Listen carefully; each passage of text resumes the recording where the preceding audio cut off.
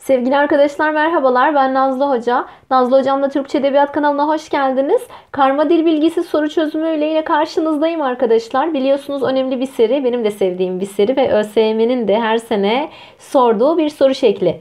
Başlayalım mı beraber? Evet, aşağıdaki cümlelerin hangisinde yazım yanlışı yapılmıştır diyor. Bakalım.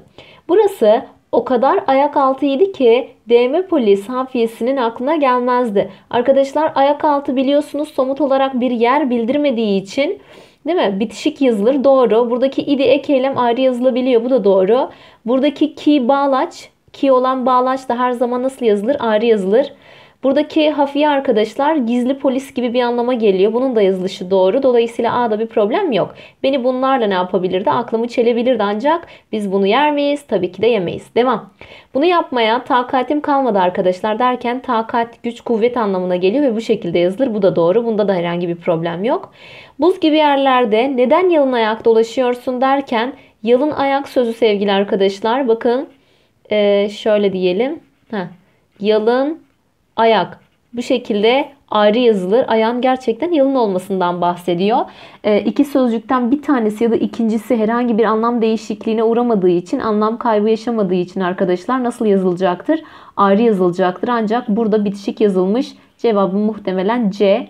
Başucu bu şekilde yazılıyor. Başucu bitişik yazılır. Unutmayın. Sırt üstü de yine aynı şekilde arkadaşlar. Alt üst gibi sözcükler somut olarak bir yer bildirmedikleri için bitişik yazılırlar. Bu da doğru. Dediğim gibi cevabım C olacak. İkinci soruyla devam ediyoruz. Evet. Yukarıda numaralı cümlelerle ilgili aşağıdakilerden hangisi yanlıştır? Birinci cümlede bir ara söz kullanılmıştır diye bakalım. Bu koşucu, kovalayıcı köpekler nedendir bilinmez. Ha, bakın şurada nedendir bilinmez kısmı bir ara sözdür sevgili arkadaşlar. Ve ne yaptı? İki virgül arasında verdi.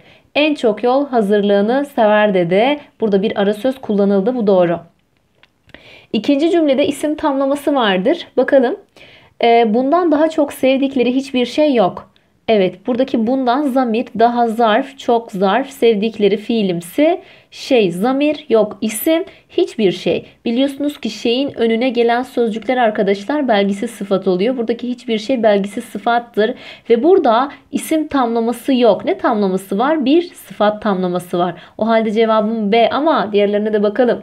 Üçüncü cümlede fiilimsi durum bildirmektedir. Yani neyi soruyor arkadaşlar bana? Kısacası zarf fiili soruyor ve biliyorsunuz ki e, zarf fiiller cümle içerisinde ya durum zarfı yapar ya da ne yapar? Zaman zarfı yapar. Bakalım doğru mu? Atlılar köy kapılarında toplanmaya görsün hemen koşup giderler. Ha koşup gelirler. Nasıl gelirler? Koşup. Buradaki ip, ip zarf fiil ekidir. Durum anlamı katmış mı? Biliyorsunuz ki fiile sorduğum, bakın fiile sorduğum nasıl sorusu bana durum zarfını veriyordu. Bu da doğru. Evet bunlar da gitti. Dördüncü cümlede bir isim tamlaması sıfat tarafından nitelenmiştir. Bakalım.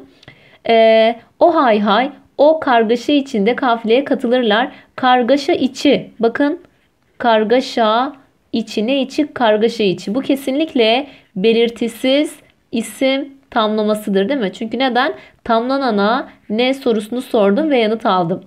O kargaşa içinde bakın burada bir ne sıfatı gelmiş önlerine? işaret sıfatı gelmiş. O halde bir isim tamlaması sıfat tarafından belirtilmiştir. Bu da doğru. Demiş ki Beşinci cümlede bulunan fiiller geçişlidir. Fiilin geçişli olabilmesi için arkadaşlar başına onu zamirini getirmeliyim ve onu zamiriyle anlamlı bir fiil olmalı. Onu kovun. Bakın onu kovun. Geçişli. Onu azarlayın. Geçişli. Onu uzaklaştıramazsınız. Geçişli. Bu da doğru. Dediğim gibi cevabım B. isim tamlaması yok. Sıfat tamlaması var orada. Evet. Demiş ki aşağıdaki cümlelerin hangisinde altı çizili kelime tür bakımından diğerlerinden farklı. Ne istiyor benden? Artık bilelim değil mi türün e, ne demek istediğini? İsim, sıfat, zarf, zamir, edat, bağlaç, eylem gibi gibi devam ediyor bu şekilde. Bakalım. Gecenin karanlığında denizin gürleyen dalgaları saldırıya geçiyor, kayaları çarparak çatlıyordu. Gürleyen dalga, ha hocam burada kesinlikle bir fiilimsi var. Evet nasıl bir fiilimsi? Sıfat fiil. Sıfat fiiller %95 sıfat tamlaması yapar. Gürleyen dalga, nasıl dalga? Gürleyen dalga burada sıfat olarak kullanıldı. Evet, e, bakalım mı? Toprak ise inim inim inleyerek denizin bu saldırılarını püskürtüyor. Bu saldırı dediğimde burada da bir sıfat tamlaması var. Ancak altı çizili kısım isim olmuş. Burada isim olarak kullanıldı. Buradaki bu da nedir arkadaşlar? Sıfattır. O halde burada isim, burada sıfat oldu. Bakalım şimdi tek tek. Karanlıkları dağılmaya, ağarmaya ve kuduran denizin kıyıları döven köpüklü dalga nasıl dalga?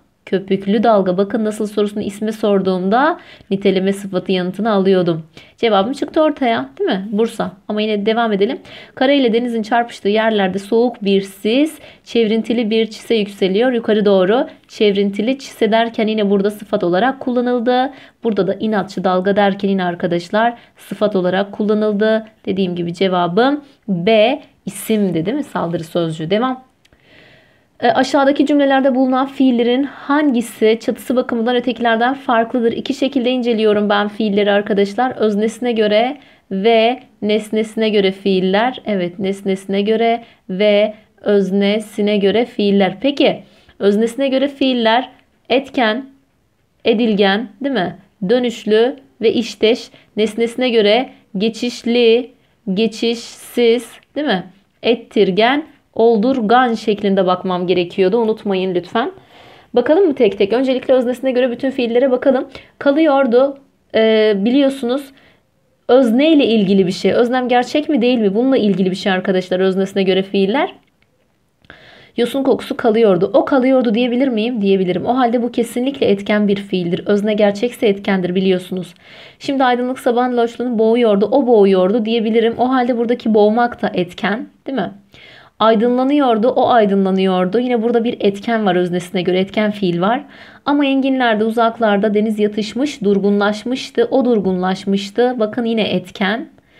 Ee, uzaklaşıyordu, o uzaklaşıyordu etken. Ha demek ki arkadaşlar öznesiyle ilgili bir şey yok değil mi? Bana bunu e, özneyle ilgili sormamış da muhtemelen nesneyle ilgili sormuş. Bakalım şimdi geçişli mi geçişsiz mi? Kalıyordu. Onu kalıyordu. Oldu mu? olmadı. O halde arkadaşlar nedir bu? Geçişsiz. Evet. Onu boğuyordu. E oldu öğretmenim. E tamam itirazım yok zaten. Geçişli oldu burada da gördüğünüz gibi. Onu aydınlanıyordu. Hayır hocam olmadı. Evet haklısınız olmadı. O halde geçişsiz. Onu durgunlaşmıştı. Geçişsiz. Onu uzaklaşıyordu. Geçişsiz. Cevabım çıktı mı ortaya canlar? Kesinlikle cevabım B. Bakın öznesine göre baktık yanıt alamadık. Nesnesine göre baktık hemen yanıt aldık. Hepsi geçişsiz Bursa geçişli olmuş. Devam devam. Evet aşağıdaki cümlelerden hangisinde daha kelimesi diğerlerinden farklı türdedir arkadaşlar? Önemli bir soru. Daha sözcüğü iki şekilde kullanılıyor. Bunlardan bir tanesi eğer ne kadar sorusuna yanıt verirse miktar zarfı oluyor. İkincisi henüz yazamadım henüz anlamında kullanılırsa e, zaman anlamı katıyor ve zaman zarfı oluyor. Dikkat ettiniz mi? Bakın henüz anlamında kullanılırsa zaman anlamı katıyor ve zaman zarfı oluyor.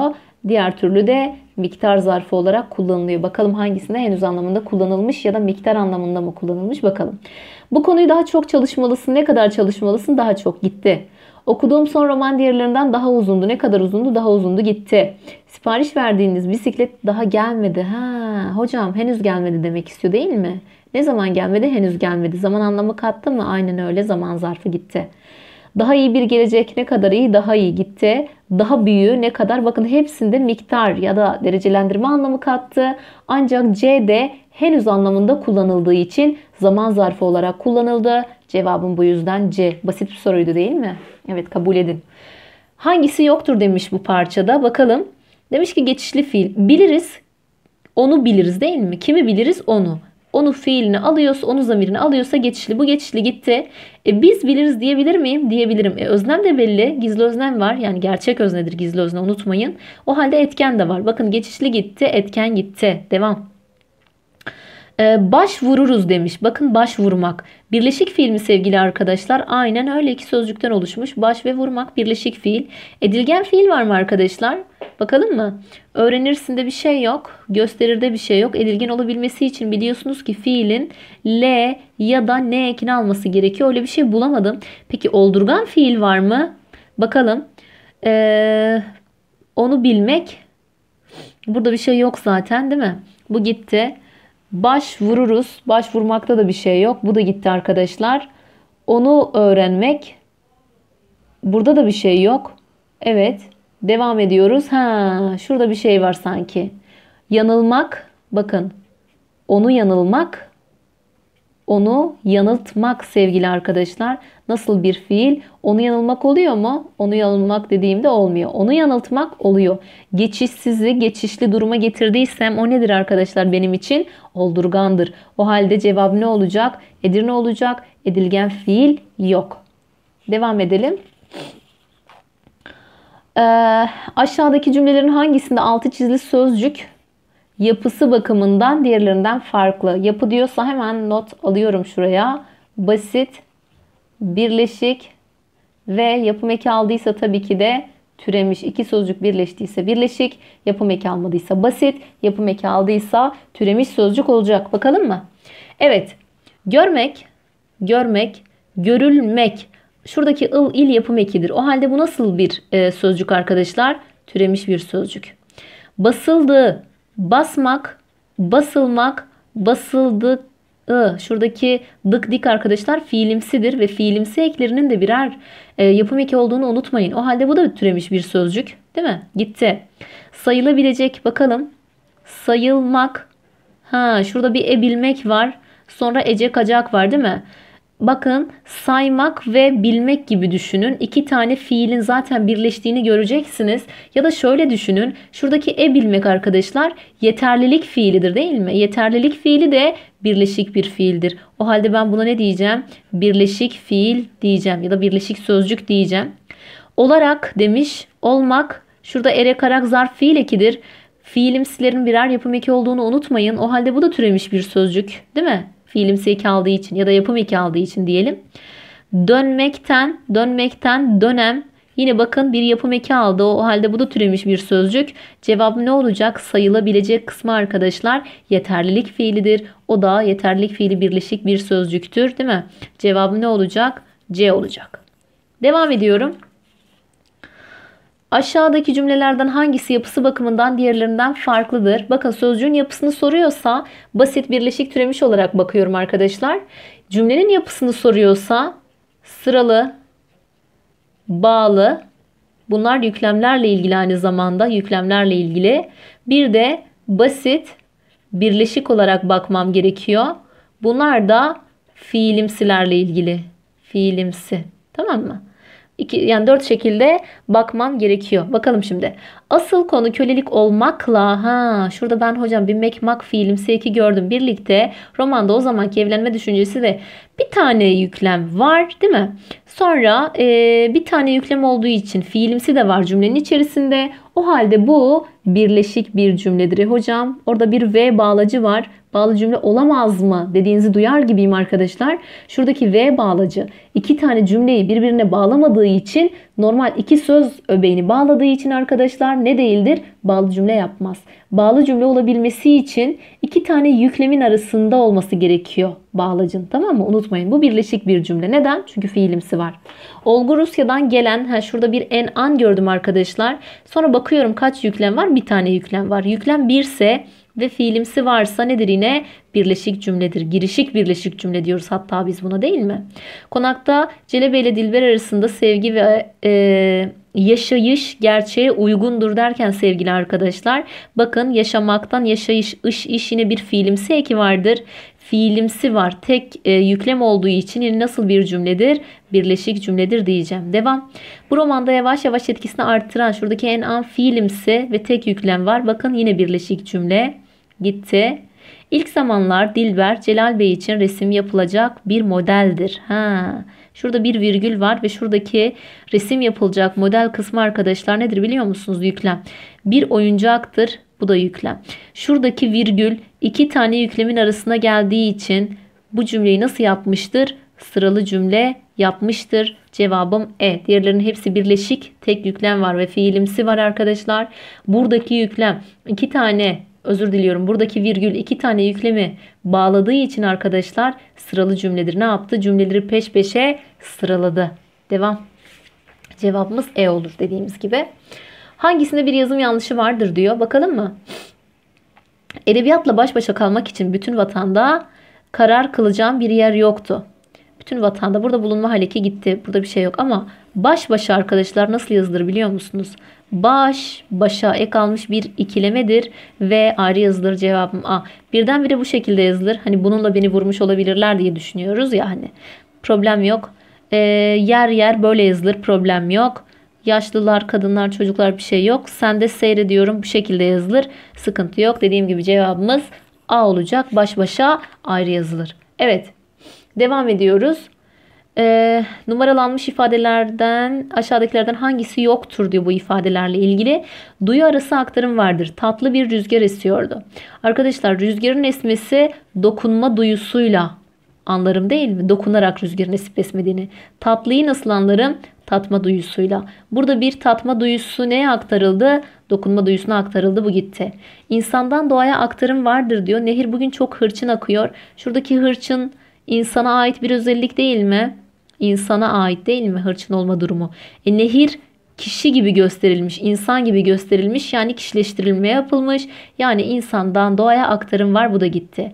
Ad aktarması var demiş. Bakalım mı? Muğla deprem korkusuyla dün gece sabaha kadar uyumadı derken Muğla'dan bahsetmiyor. Orada yaşayan insanlardan bahsediyor. Dolayısıyla ad aktarması da var. Bu da gitti. Doğadan insana aktarma bakalım ben hayatımda böyle pişkin bir adama rastlamadım derken şuradaki pişkin aşırı pişmiş olma durumundan bahsediyor değil mi? E, adamı da burada aşırı pişmiş bir şeye benzetmiş. Yani insanı ne yapmış arkadaşlar? Doğaya benzetmiş. Doğadan insana aktarım yapmış. Doğaya ait bir özelliği insana vermiş. Bu da gitti. Dolaylama var mı? Dolaylama yok. Hocam dolaylama neydi? Hemen size küçük bir örnekle hatırlatayım. Mesela neydi arkadaşlar? Kara elmas bir e, sözcükle ifade edilecek bir şeyi birden fazla sözcükle anlatmaktı. Mesela işte minik serçe arasında ilgi olmadan aktarıyorduk değil mi? Bu dolaylamadır. Cümlede dolaylama yok. Kendinize iyi bakın arkadaşlar. Görüşmek üzere. İyi dinlemeler.